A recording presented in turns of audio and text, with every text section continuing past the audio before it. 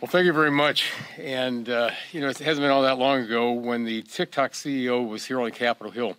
He was meeting with all of us in uh, our offices. And I asked a really simple question at that time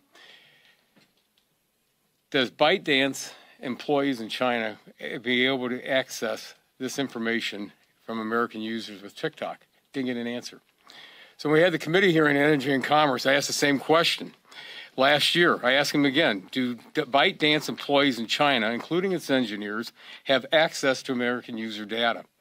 Admitted in front of our committee that yes, the Communist China, the Chinese Communist Party has access to our user data. So this is, as you've already heard, this is a wake-up call, and should alarm every single American whether they're actively engaged in, on TikTok or not. In the months since this hearing, we've been doing our due diligence to gather the information and fully understand the national security risk posed by ByteDance. And it's become clear from the classified briefings we've had, including witness testimonies, that TikTok presents a clear and present danger to our national security and to all American users on this app.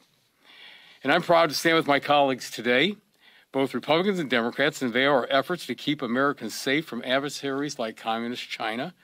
I'd also like to thank the chair and ranking member of the Select Committee on the CCP for their leadership on this.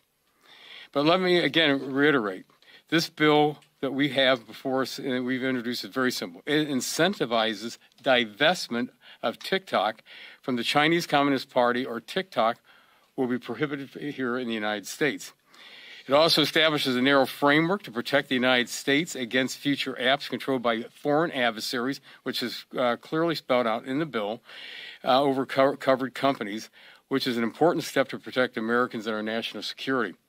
And I'm looking forward to bringing this bill forward in a markup on the Energy and Commerce Committee, which we're going to have on Thursday, so we can get this passed and sent to the floor for a vote before the House of Representatives. Thank you very much.